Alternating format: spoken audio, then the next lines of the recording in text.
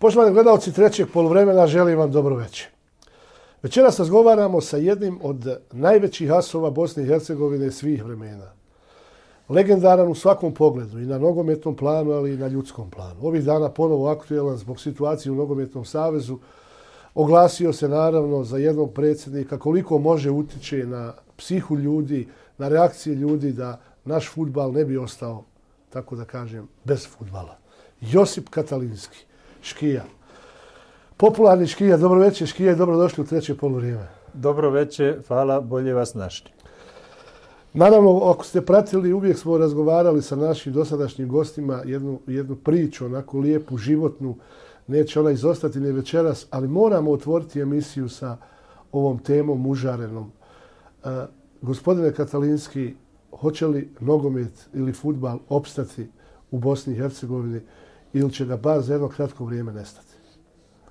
Dobro, on nestat neće. Mi ćemo igrat onaj, oni mali klinci kao što sam i ja počinjao. Na Poljančetu će se negdje igrat. Mislim da će drugo sve zvanična takmičenja prestati. Mada smo mi neki dan sa gospodinom Bencom i, i gospođom Eve pričali, ja sam ubeđen da je ni oni bez obzira na njihovu priču da ne znaju šta rade ne znaju šta će sa nama. Pa ne znaju šta će. Pazite, ako treba da se pravi sad neki komitet, da bi, jer neko sad, ako, ćemo, ako će liga postojati, neko mora delegirati e, suce, neko mora, neko mora voditi takmičenje. Odakle ćemo voditi takmičenje? S kojim ljudima? I opet ćemo napraviti jedan, e, jedan mlin koji niko ne želi ovog momenta, jer očito je da tri naroda ne mogu da se složi. Mi se nalazimo u zgradi nogometnog saveza ili futbalskog saveza. Ovaj, ja se bojim da u ovoj zgradi ne rade ljudi koji odlučuju o sudbini BH nogometa. Je li tako? Ti si u pravu. U svakom slučaju ne rade. E, mi ljudi iz administracije, ja sam to neki dan rekao Bencu, ima nas 30-ak, mi želimo da surađujemo sa UEFA-om i FIFA-om, međutim, neznalice, koje vode ovaj futbal, oni neće. Tako da su i ovi iz UEFA ostali, pa, e, ostali začuđeni, pa sve vam dajemo, sve vam nudimo. Vi imate samo dva, dva problema. Da kažete nećete kao što ste rekli, a dotle smo vam obezbeđivali sva sredstva i ono malo što smo negdje na račun Bosne i Hercegovine mogli da mogli da realizujemo, vidjeli šta se dešava kao na primjer Kentaru i tako dalje i tako dalje. Ja sam dobio od jednog, od jednog čovjeka informaciju, zapravo nije nikakva tajna, siguran sam da je on i vaš dobar prijatelj, isto tako jedna legenda koja je bila u našoj emisiji, od gospodina Ivana Čurkovića. Ovaj, on mi je rekao ovako, ljudi iz UEFA su vrlo ozbiljni i rekli su zapravo, mi sa vama imamo stalne probleme, računajući tu i Srbiju i Hrvatsku, računajući navijače iz Srbije, Bravo. šta su radili po dženovi, računajući Hrvatski nogometni savez koji također ima ogromnih problema, znamo šta Štimac i ostali rade, Jeste. i računajući Bosnu. Mi vam sve dajemo, a mi od vas zapravo ništa ne dobijamo. To je jedina istina. Nerede i probleme. Nerede i probleme. Kako vi to objašnjavate? Pa vidite, očito da smo živjeli u jednom sistemu čije sam ja dijete, koji je bio dobar, koji je trebalo možda popraviti, a ne ga a, završavati ili raditi ratom. U stvari mi ga nismo ni popravili, nego smo ga upropastili i sad smo dobili jednu katastrofu. Vidimo šta se dešava na ulicama, vidimo šta se dešava na fakultetima, vidimo šta malte ne svugdje. Tako da ovaj da se nalazimo stvarno, pogotovo ako je nogomet, futbal u pitanju, u jednoj vrlo, vrlo kritičnoj situaciji. I što je najgore, nemamo nikakvog iskustva, ni mi, ni iz UEFA, šta radi dalje, dokle će trajati suspenzija. Ja vidim ljude oko mene, pa čak i ovdje po Savezu, mnogi misle, ma neće. Da. ma nema toga, ma neće. Pa jedna mala Bosna i Hercegovina koja je jedan mali kvart u Parizu. Yes. Pa neće se, neće se zezati sa gospodinom, neće se zezati sa gospodinom Platinijem i ostalim. Čini mi se da ni klubovi, o tome smo razgovarali, gospodine Katalinski, nisu ni svjesni. Niko se ne oglašava. 16 klubova, puno ljudi će ostati bez posla. E, popularnost će nam pasti i onako je pala. Kako to objašnjavate? Da klubovi ne naprave neki sastanak, da ne reaguju pismima, da ne traži i tako dalje? Pa vidite, ja sam neki dan razgovarao, bio je Ivica Osim, jeli, pa je došao Amar, pa sam mu rekao, Amare, pa morali bi nešto odraditi. Danas je bio Nermin Šabić ovdje, jeli, iz Čelika, jedan divni momak, igrač i uspješni mladi direktor. Neš, negde se moramo oglasiti. Jer e e, e, e, kao, da se, kao da žive podono, a zato sam se ja i ljudio na neke ljude, nešto da pominje imena, nemojte biće, nemojte mi smo. Ovde nema, ovde staje sve. Ovde, gospodo, ostaju bez posla u klubovima ljudi. Pa šta vrijedi igrati? Šta vrijedi? A rekli smo malo pre još jedan problem. Ko će voditi takmičenje? Kako to organizovati? Kako će sad u, UEFA koje ljude postaju da vode takmičenje? A druga stvar, nema, sad ćemo izgubiti mlade i ono, svakako smo ih gubili, ali eto, ipak se i džeke i ovo bila su neka obeštećenja. Međutim, sad će, sad će nam monci malte ne kao 91. druge odlaziti jer nismo, nismo pružali ovaj normalne uslove za takmičenje. Evo, nećemo još puno o toj temi, ali gospodine Katalinski, naravno, šta bi mi mogli da ovdje poručiti, ima još nekoliko dana samo do te odluke. Vi kao i legenda, zaista čovjek koji je sve dao našem futbalu, bivšoj Jugoslaviji, željezničaru i tako dalje. Možemo li uticati na psihu tih ljudi? Možemo li apelirati, reći im da ipak dadnu šansu mladim momcima da igraju nogomet? Vidite, kroz onu priču prije emisije, e, vidjeli smo da more stvari neštima u Futbolskom nogometnom savjezu Bosne i Hercegovine, da su tu, znali smo mi ponešto, ali nije moje da čačkam. Ovaj, znali su neki drugi, ali da kaže, za sve postoji pravosuđe. E, počeli smo polako da se konsultujemo. Tu je postavljanje piri za, za tehničkog direktora kojeg nismo imali. E, počeli smo da se bavimo stvarno futbolom. Postavljen je gospodin Baković za generalnog sekretara, jedan divni, mladi, perspektivni čovjek s kojim se može ići naprijed, koji govori i jezike i sve ostalo. Međutim, ne mogu miševi koji ispadaju iz igre, toliko su podrovali ovaj savez u ovom lošem sistemu, kao što se dešava i u politici, da jednostavno posljedno pitanje, pa je li bolje da se sve sruši pa da počnemo iz početka ili, ili da ovako tavorimo, jer ovo je tavorenje.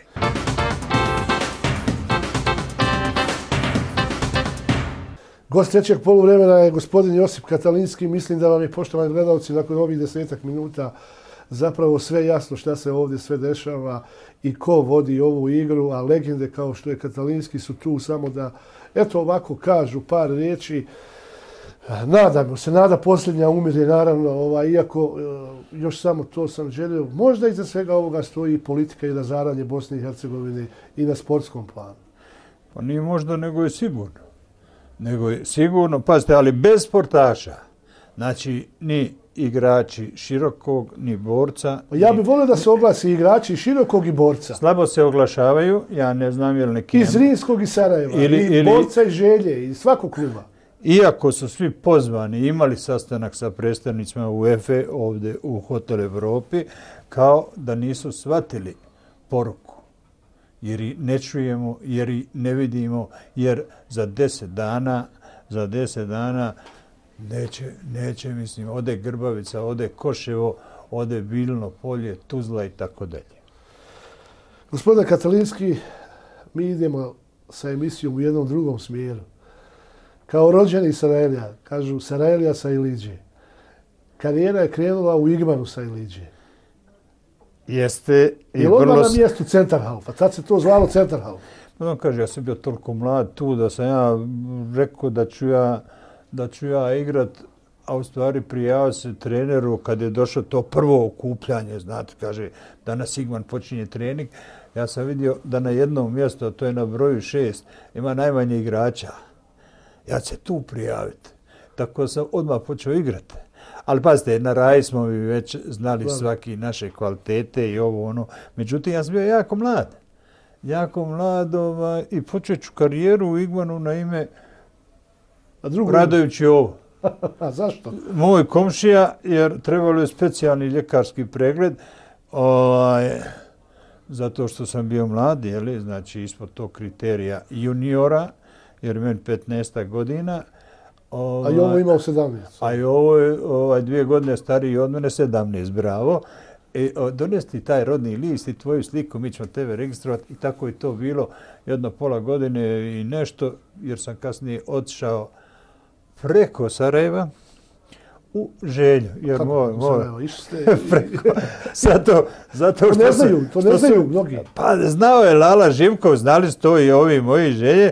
Mene spotirali s koševa. Ali široka sportska javnost, mislim, ne zna. Ne zna, pa dobro, pazite kad kažemo ružno, potirali, pa jes potirali.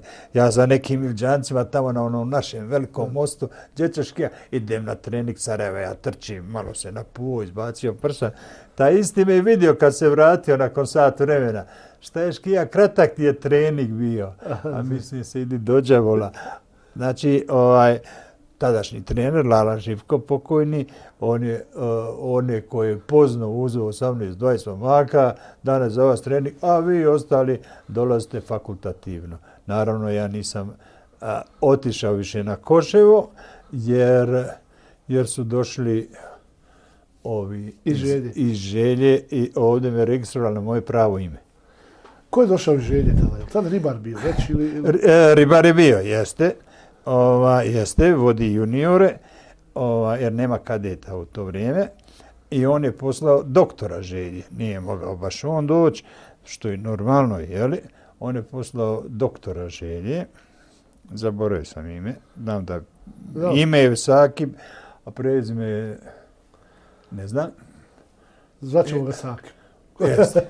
I oni su uzeli moja dokumenta, moju sliku, moj rodni list i za par dana me registrovali. Igman je tražio svoje obeštećenje, međutim, ovi želje su rekli, pa eto vama, eto vama Radović je ovo. Tako je to bilo, taka su bila vremena.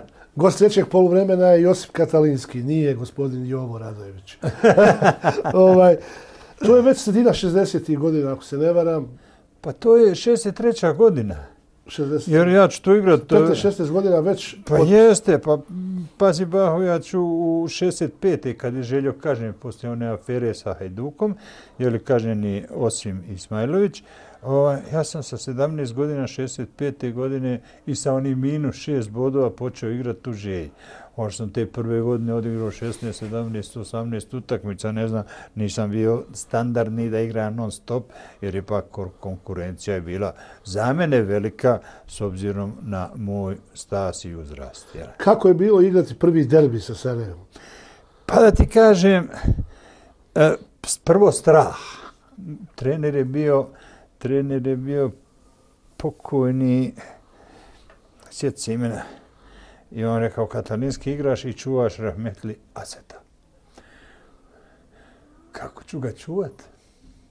Pita je Ađe, kako je došao iz travnika, Ađe Odić, kako ću ja njega čuvat? Kaže, ima jebi ga, snađi se. Emir Hadžabnić. Jeste. Ovaj, da bi na kraju utakmice ta isti rahmetli se tako me po glavi, po kosi pogladio, prodrbao mi glavu i kaže, mali ti bi dobar igrač. Znači, to su stvari koje ostaju čitav život, znate. Kakav je bio Hase? Pa pazite, e, Ljudina. Ljudina, ja ga ne znam kao što ga znaju stare Sarajlije. Jeli? Međutim, on je na terenu bio, zahvaljujući svojim kvalitetima, bio gigant. Isto e, imamo njega na Koševu, imamo Osima na, na Grbavici. Pazite, to su lideri, to su ljudi koji nas uče svemu. E, ovaj, Ste li igrali sa Osimom u istoj ekipi? Pa igrali smo nekoliko godina. Švaba otišao, mislim da je 70, prvi otišao za Strasburg. Jeli? A dotlije smo igrali zajedno par godina jer Švaba je odradio tu kaznu svoju i 66. počinje da igra i ona nas vodi. Interesantna je stvar sa Švabom i kasnije sa Safetom Sušićem. Safet Sušić kada je otišao iz Sarajeva, Sarajevo je postalo šampion. Eto, Ivica Osim kada je napustio Želju, Želju je postao šampion. Nevjerovatno. Istina je to, međutim, nemam komentara jer ga ne znam. Jeste. Jeste, ali vidite, u to vrijeme, znači, ne iđe periodično. Znači, dok je Švaba bio s nama, učio nas je. Mi smo postajali polako ekipa. I ne odmah kad je otišao, nego nakon dvije godine, znači to 70, 70, ne znam je li Švaba otišao 70 ili 71. Dobro, Međutim, trebalo je vremena da je jedan škija, znači rođen 48. da on uh, 72. znači to su 24 godine, jesu najbolje, yes. da sazri. I, I njegove kolege, Ađabdić i Bukali, Spreće, Mujkić i Bajić i da ne pominjem. Kakav je Ribar bio trener? Uh, pošten, uh, veliki radnik. Ljust? Pa pazite, i naši roditelji bili možda malo ljuči nego ovi danas. Jeli, ovaj, naravno se ljutio kad počnemo varati sebe i njega. Sjećam se jednom nakon što pada snijeg, led, kiša. Sad izlazimo mi, ja sam kapiten, nema buka, ali otišao. I sad izlazimo dole, hladno je. Kaže, ribaš, ja od mamu. Staj kaže, ti ne igraš. Pa igram šefe. Pa kaže, nisi za, za suko rukave. Jer on, ako ja ne zavrnem rukave, ja za njeg ne radim. Kako je došlo do tog transfera u Nicu? Ja znam, kao dječak, a i toga ćemo se malo taći, ovaj, uvijek se govorilo Josip Katalinski, vjerovali ili ne, ima hotel u Nici, na Azurnoj obali. I pričalo se o tome godinama. Pa jeste. Ali vidite kako je došlo. Došlo je da jedan čuveni naš bosanac, jednoga danas presnik Nogometnog savjeza Hrvatske. Iako baš sad i nije njemu baš ugodno na klupi tamo. Pa, na mjestu predsjednika. Ne mogu da diskutujem, pa najgo, najgore što ga ugrožava neko ko pitanje koliko vrijedi i bojim se njegovim odloskom da o, ovaj ne bi daleko, ali to nije tema ovog razgovora. Ovaj, on je trener u to vrijeme e, Lice. Lice i već on doveo on im u Semić, našeg Vahidina, i Vahidin već igra tamo. Ovaj, dovodi i mene. Pazde, mene se odvukle pare. Jer moj san je bio da još čekam godinu dana, u stvari i mene Evropa čeka. Mene Evropa čeka jer znaju naša pravila igre. Prvo čekaju me u Strasburu kod Osima. Jer igrali smo jednu prijateljsku utakmicu, Strasbura je vodio 2-0, meni, meni ribar postavi naprijed 2-2. Ja dam dva gola. Ja se vratim nazad, Strasbourg opet 4-2. Ribar opet. Ide gore. 4-2. 4-4. E, Završimo 4-4. Ja znam, ali mene Strasbourg ne interesuje. Mene, mene, ja mogu da igram. Nisu mogli svi igrači igrati u, u Njemačkoj. I naravno Španija, naravno Real. I ovaj, ja se ne spremam da idem jer još imam godinu i po dana za, za za odlazak, da. da dobijem dozvolu, jer ovaj, ja nam Vlatko pošalje menadžera i on dođe. Ljubo Bari. Jest. Stvarno su bili veliki novci u pitanju. Tako da se ja zaboravio ovo čekanje. Da, da. ovaj, da sam zaboravio čekanje. A dolazak taj u nazornu obalu u Nicu, to je kao san tada bilo. Pa da vam kaže, pa jeste, strava je bila. Pazite, ipak je to azurna obala. Pa i ljudi su drugčiji. Anda. Alen Delon tada, Jean Paul Pa jeste, pa Lino Ventura. Lino Ventura. Ovaj, to su ovako ljudi, dobro trebalo. Ste li imali prilike upoznat nekoga, vidjeti? Pa jesam i svu trojicu što smo pomenuli. Lino Ventura dolazi iz zimi da bućam. E, malo kao igrač, pazite to je ipak, ja sam igrao svega tri godine jer sam se i povrijedio, ovaj, ali kasnije u tom životu ili kroz te utakmice, jer i Jean-Paul Belmondo kažu, rekao su da, da ti ličiš na mene. Rekao, ja ne znam, ja ličim na tebe ili ne, ali meni su rekli da ti ličiš na mene. ovaj, da, ajmo mi popiti šampanjac, ma naravno, ajmo popiti šampanjac. Ovaj, to, to su divni ljudi, ovaj, šta jednom sam pomagao našim prijateljima, znate ono zimi, ja zatvorim hotel i onda ima naši ovako divni ljudi koji meni, ja sam kupio veliku divnu kuću i sređujem je. Ja radim sam, ja sam majstor svi zanata, ovaj, jednostavno iz radničke sam familije. I u to vrijeme ja radim, a treba mi jedna greda, treba mi neki pločica, treba mi neko kamena. Onda ovi meni, naši ljudi, naši ljudi pomognu. E onda dođu, vidim ja da su u škripcu, jer i oni imaju svoje radilišta, rade, pokrivaju kuće, zidaju i tako dalje. I onda dođu škija, možeš pomoć, molim te. Pa mogu. Onda ja odem i jednom smo otišli kod Brižit Bardo na vilu da joj sredimo pergolu na, na bazenu. Gleda ona šuti obuku radno dijelo. Ona onaka kaka jeste. Izađe, kaže Kija, odakle vi ovde? Gospodine Katalinski, vi nećete raditi ovde. Ajmo mi pit šampanjac, ne krade vaše kolege, ali rekao imaju ugovor, jer kiša pada. Istaće im ugovor, onda mora plaći penale. Pa kaže, lako ćemo mi to završiti. Meni fino nisam taj dan radio s prijateljima, nego smo pili šampanjac. To su te divne stvari koje i sami ostanete frapirani, a ne kad nekome, kad nekome pričaš, jer to su tako te ljudske veličine, ali nada sve koje su vrlo jednostavne. E. Naravno. Poštovani gledalci, gost trećeg poluvremena je Josip Katalinski, čovjek koji je bio pio vino sa Brigitte Bardot, sa Alain Delon i Jean-Paul Belmondom. Danas mora da gleda i trpi ove ovdje iz Nogometnog saveza koji ne želi da se futbal ili nogomet igra uopšte u našoj zemlji. Gospodine Katalinski, kruna te karijere futbalske, kruna svega je svjetsko prvenstvo 1974. godine u Njemačkoj, ali ne bi ga vidjela ona Jugoslavija da nije bilo vašeg pogotka u Frankfurtu na Wald stadionu. Slobodan uraz za reprezentaciju Jugoslavije, to je 13 minuta igre. Valdez je došao tamo. Skok! I evo, gol! Gol, gol, 1-0. Reprezentacija Jugoslavije vodi 1-0. Loro trči na centar.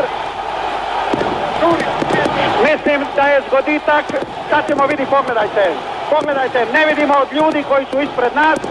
Trenutak, mislim da je to bio Katalinski. Vidite kako je loptu dočekao i ribar i još jednom udarac i zgoditak. Siguran sam da je i to vama ovako najljepše neko sjećanje na, na, na kompletnu karijeru. Pa u svakom slučaju, to su krune kad danas e, saberemo sve, pazi igrati svjetsko prvenstvo za jednu malu Jugoslaviju, dešavalo se da se promaše dva, tri, četiri prvenstva. Da Prije se... toga nije išla Jugoslavija 66. i 70. Pa bravo. I došla znači, je majstorica protiv Španije. Znači 12 godina. Tako. Jeste. Ima taj nesretni autogol u, u Atini. Ovaj, da se vratim u Atinu. To je bila utakmica koju smo mi morali pobijeti tada. To je imperativ, mi smo To je imperativ. A tad je najteži igrati. Jeste. I ovaj a pogotovo kraljevska Španija sa čuvenim trenerom Kubalom. Ladislav. A, jeste, bravo. I ovaj, došli su, nema veze, ja, ja sam pogriješio. Sad pričamo o Grčkoj, da ne dođe do O Grčkoj, jes, jes, jes. Igramo to, to utakcu u Grčkoj, biti ili ne biti. I sve krene super. Mi povede, nama treba pobjeda od dva razlike. Da, da, da. I mi povedemo dva razlike. I onda nastaju problemi. Ja kratko vratim Mariću, odnosno pored njega malo jače, lopta ovdje je u mrežu, onda se dešava isključenje, isključenje Bajevića. Svi mi već postajemo polako, nervozni, polako, nervi pucaju, a sve to još prvi, e, malte ne, jednom nogom smo na tom svjetskom prvenstvu, ali nismo odjedno se sve prosu 2-2 ta će obično tu nastaju katastrofe. I ja znam da sam na polovremenu tražio od Miljanića Čića ne mogu više igrati. Još ne da mislim, 2-2, 2-0 vodili, pa 2-2, polovrijeme, ostaje još 45 minuta. Kaže on, ti ćeš igrat, a na jednog igrača iz Splita je upravo prstom rekao ti nećeš igrati. Neću, naravno, pomenuti. Da, da, e, a, ja sam ostao igrat i onda se desilo što se desilo. Ko je dao treći gol? Mislim da je Šurija i, i treći dao i četvrti. Četiri je Karasi.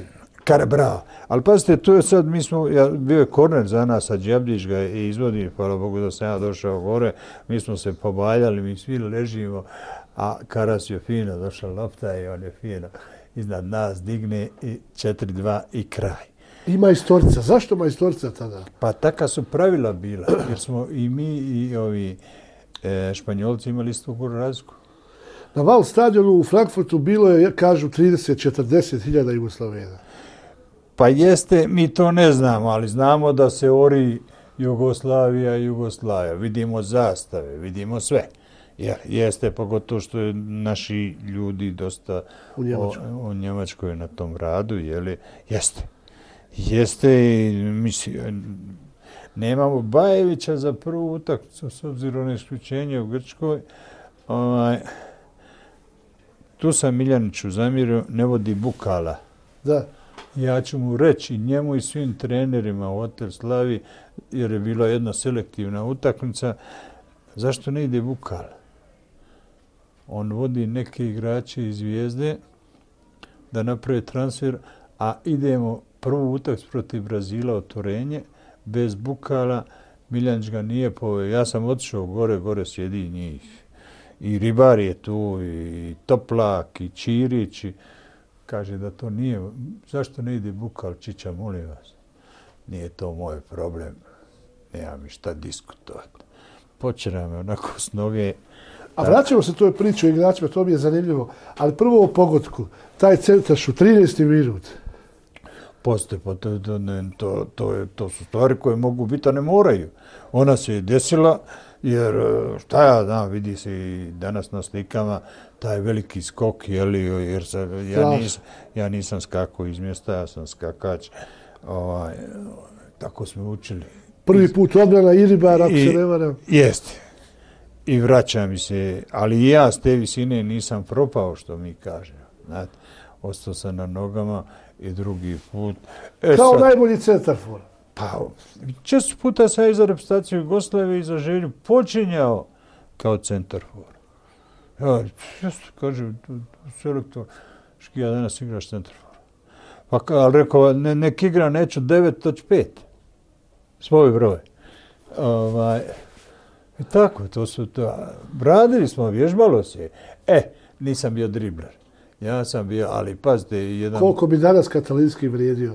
Ma ne znam. Možemo biti neskromnički, ja pa reći. Ma ne znam, pa ne znam, teško je upoređivati. Ovaj. Danas... Puno sigurno. Puno, puno. Pa puno.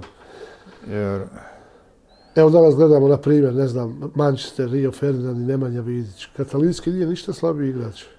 Katalinski je bolji, malo je više škole prošao od njih. Ne, ne.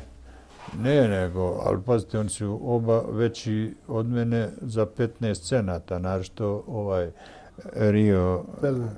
je, Rio Ferdinand, ovaj, onda gledamo te postavke. E, jedno je, pazite, ja i kad sam išao naprijed i te skokove sve, morao sam se i vratiti. Ovi zalutaju danas, oni igraju, pa čak i Vidić koji ga cijenim, kao igra, vidim i ti ga pominješ, ali pazi, on, on ne smije biti na nekim mjestima. Ili neodgovornost, ili nešto neće se vraćati. Jer e, ja znam kad, kad, gdje moram stajati da bi se mogao vratiti. Ako je kratak korner, znači ne igram, Da, da. mora se vratiti. Ovi danas ne, ne može skakač, ne može centar ići blizu golmana.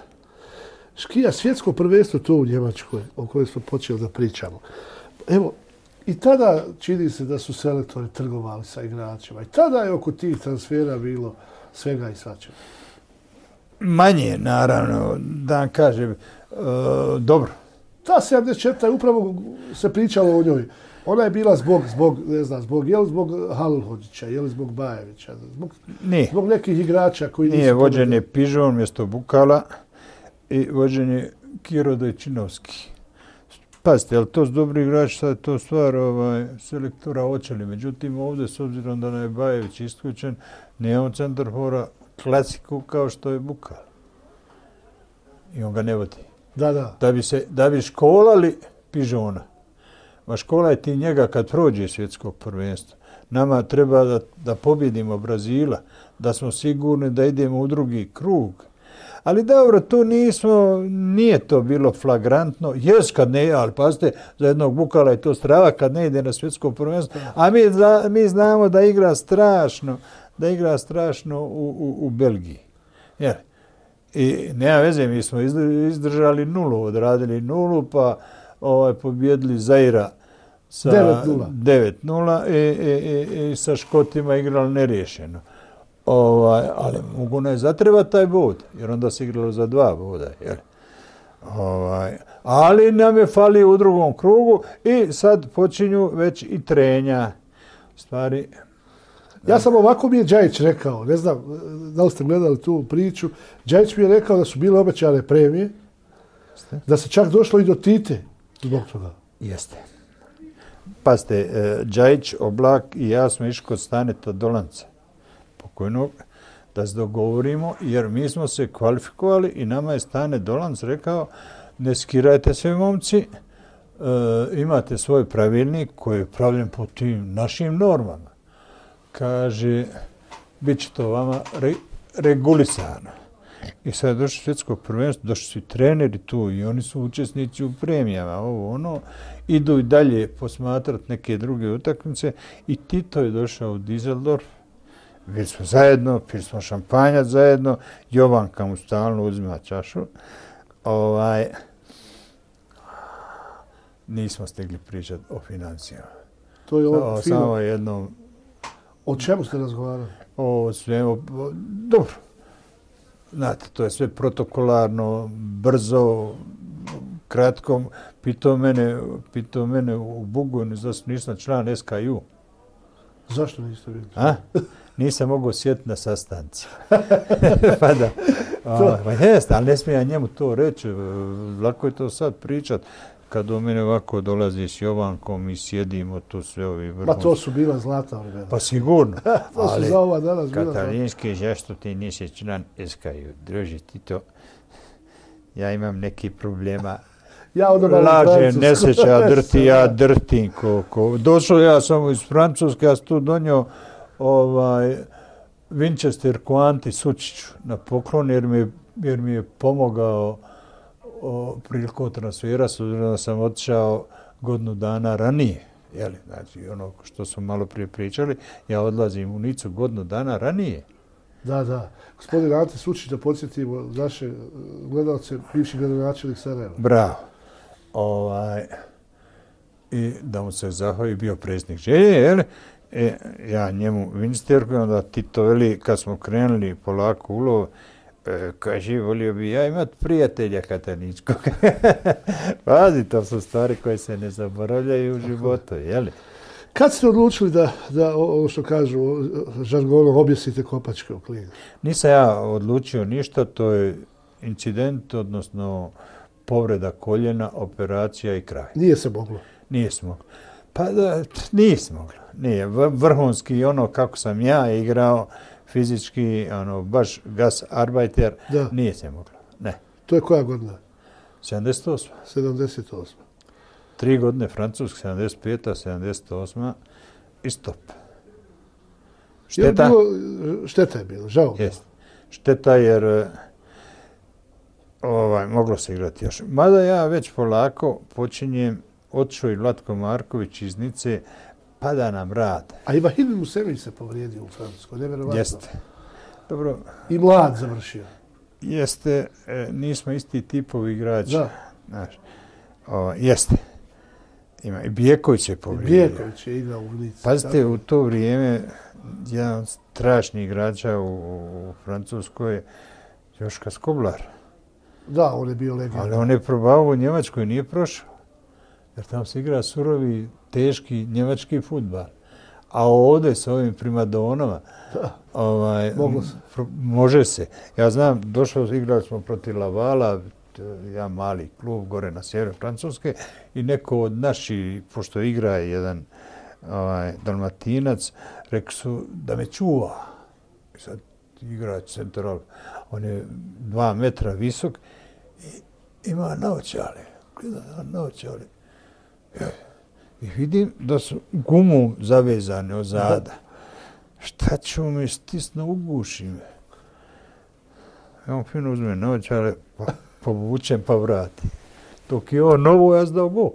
A, ovaj, hoću da kažem, ipak su u to vrijeme, ali smo, zahvaljujući Đajićima, Škijama, e, dosta naših Petkovićima, Turudijama, e, Musemićima, Bijekovićima, dosta, vrlo brzo su se developirali, odnosno razvili i ovaj, E, eto recimo Platini počinje u to da. vrijeme, on nas pobjedi u finalu kupa, ovaj, da bi nakon 7-8 godina postao, postao jedan od najboljih igrača. Oći, otiće u Torino, da, jer je ovdje bio Naci pa Saint-Étienne, pa otiće u Torino. E, Najbolji igrač Evrope tri puta. Jeste. I on meni kaže, kad dođem u Pariz, uh, imam gdje hoću i šta hoću od njega. Rekao, a zašto Mišele? I kaže, ja sam na početku moje karijere dao tebi četiri gola. Ja mislim da se ja bio povrijeđen, nije on dao meni, on je dao Nici. Ali on je nešto... Pamti to. O, je, jer dat katalinskom četiri gola, ovaj, velike sto stvari, znaš. U finišu smo emisije treće polovrijeme večera sa našom legendom Josipom Katalinskim. Gospodine Katalinski, izuzetno zanimljiva životna priča. Ovaj, evo, nemamo još puno vremena, a toliko bi mogli razgovarati zaista. Moramo se dotaći malo rata. Teška je bila situacija. Da li volite o tome govoriti, o privatnim stvarima koje su vas zadesnale? Pa da kažem, zašto da ne mislim, to su stvari, to je reala naša, mada sam ja strašno bio iznenađen ovaj, da se to može desiti i da se je desilo našim narodima, jer sam čvrsto vjerovao, istina, živio sam 15 godina znači u Francuskoj, ja sam mislio da je to kao što je bilo. Svi smo manje više mislili ovdje da je to nemoguće. E, pazite, izašao sam nakon godinu dana, jer ipak moja lokacija, odnosno moj stan je bio na trgu, Ero, da, trgu Pere Kosorča, danas trgu Eroja. Stvarno je bilo neugodno. Mada smo mi i odatle, Škija je dolazio svaki dan, dolazio Juka Pušina, dolazio je Savo Kosorić, pravili smo novi savez. Ovaj današnji savez smo pravili. Prvi predsjednik je bio gospodin Doko, Tako ja i Juka podpredsjednici. I ovaj, I napravili smo ga. I on je jako dobro štimao s Jukom u početku, taj savez. Jeli, gospodin Mioć je bio generalni sekretar. Sve to išlo jako dobro. Mirso Pazagić je bio tu da bi, da bi danas neki sa hoću, neću igrali se sa jednom institucijom koja zapošljava 7-8 milijada ljudi u čitavoj Bosni i Hercegovini. U ova krizna vremena, no, mi možemo sad zatvoriti sve stadione sve stadione u Bosni i Hercegovini. Bili ste i ostali istinski patriota Bosni i Hercegovini. Vi volite često reći bosanac katolik. Pa šta ću? To sam. To sam. Ne treba, ovaj, ne možemo glumiti, ni treba. To sam, drago mi je i takav sam. Mi smo ponosni na vas. A još jedna stvar koja je vas, iako e, nismo završili ovu temu u ratu, doživjeli ste tragediju kao i mnogi ljudi ovdje i ličnu. O tom ne bi ne bi o tome... Ne bi, mislim, to su teške stvari. Ovaj, jer mi smo ta sva tri naroda u tom okupiranom Sarajevu živili zajedno. Tako da ne mogu razdvojati. A u, u sva tri naroda zločinaca ima, postoji, pa neki ganja sud. Ali ste nakon toga bili gosti u Beogradu, čini mi se, na jednoj utakmici, na Marakani, I doživjeli ste ovaciju od 60.000 ljudi kada je oficijalni spiker rekao da ste prisutni na stadionu. Pa vidite, ima to nešto, nije to ni slučajno. Prvo, mene narodi vole i u Skoplju, i u Ljubljani, i u Rijeci, i u Beogradu, Novom Sadu. I ja volim te narode da budemo načisto i te, ili te ljude koji žive tamo ili te ljude kao i tebe s kojima smo prijatelji. Ovaj, Pazi, drago je meni bilo neki dan kad si vodio emisiju s Džajevom kad on pita za škino zdravlje. Pazi, to su, to su velike stvari. Ali nek Džaja dođe u, u Sarajevo, mi ćemo isto pitati ovaj, kako je on. E, šta još da kažem? E, Beograd, ali nada sve ono, onaj futbalski klub Rad. Sjećaš da su oni došli da igraju zadnju utakmicu sa željom u, na Grbavicu, da. koja nije odigrana, jer je počelo pucati. I onda smo rukovodioci rada rekli, škija mi ne idemo s Grbavice bez tebe. A od ozora išla masa ako se sjećaš da, od RTV ne? doma i to. Sada konta šta ću moram pomoći ljudima, a ko sam ja da pomognem? Hajde ja ću s vama autobusi. Stvarno su nas kod RTV doma propustili. Dajte ljude u FK rad, t, t, t, idu na aerodrom. Pustiše nas, prođoš mu, ufat će oni avion i odoše. I nakon 3, 4, 5 godina su vratili to. Ja sam, zvali su me, ja sam otišao u Beograd. I ne žalim što sam otišao. To su tako lijepe stvari, to su... Bio sam počastovan, bio sam, pazite, na što ti kažeš, ja mislim da je bilo i više od 60.000 gledalaca, ali jedan spontani, spontani aplauz od svi ti ljudi koji su bili koji su bili na stadionu Crvene zvijezde. Mogu li sportisti, mogu li e, bivši igrači mogu li zajednički reprezentativci koji su danas tu, možemo li mi svi dići glas, napisati neko pismo u EFI ili FIFI, e, možemo li mi svi zajedno napraviti neku akciju za spas bosansko-hercegovačkog futbala, ukoliko se to spasti može. Ova, jer zaista e, ljudi ovdje u Bosni i Hercegovini vole futbal. Eh, vole futbal, gledaju ga, idu. Ne treba malo niti navijaču Čelika, niti navijaču Želje, niti Sarajeva da se okupi po desetak hiljada gledalaca. Samo neka pobjeda u gostima i stadion je pun. Šta mislite vi, gospodine Katalinski, evo, možemo napraviti mi ovih nekoliko dana neku akciju zajedničku? E, nešto smo, Pirić, ja, Sina Sinanović, evo i ti si tu, Švabo je za to, nešto smo pričali. Nismo Fazlagića vidjeli, još znamo sigurno da je za samo Zurovićem da nešto poditno napravimo pitanje koliko to može imati koliko to može imati efekta. Ovaj, ali ako ništa, da se čuje glas. Jer ovaj glas je vrlo loši iz Bosne i Hercegovine. Jeli? Ovaj, hoće li on imati efekta, ali u svakom slučaju treba. Treba uh, ajmo, vi ste ljudi iz javnog mijenja, mi smo ljudi iz sporta. A, što sam ja rekao, pa toliko sam godina u sportu, ali nikad nisam bio u ovakvoj situaciji. Da, vrlo Šta rad? Šta rad? Šta rad? Šta, eto, ne znam, u, u svakom slučaju jesam za sve. Ako treba pješke ići kilometre i kilometre da nešto ispravimo da bi se negdje sastali, jesam za spasimo bosansko-hercegovački futbal. Gospodine Katalinski, neobično mi je bilo drago razgovarati s vama. Naši gledalci su saznali i čuli neke pojedinosti koje do sada nisu imali prilike.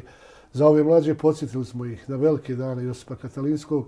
Zdravlje dobro, zdravlje vas služi. Dosta dobro, dosta dobro. Ja vam želim još puno godina sreće i zdravlja i nadajmo se da ćemo i ovaj težak period za naš nogomet nekako prebroditi i da ćemo gledati reprezentaciju u nastavku kvalifikacija, ali i naše klubove u Evropi. Baho, hvala velika. I ja se nadam, nadamo se svi, ali ovog momenta je stvarno mrka kapa. Ako nešto u narednoj sedmici ne odradimo, gotovi smo. Poštovani gledalci, bile ovo treće poluvrijeme sa Josipom Katalinskim. Čovjek, živa legenda, među nama još uvijek. Digao je svoj glas protiv onih koji ne vole niti nogomet u ovoj zemlji, ali ne voli ni ovu zemlju. Nadajmo se, nada posljednja umire. Vidimo se ponovo za sedam dana. Hvala pažnje.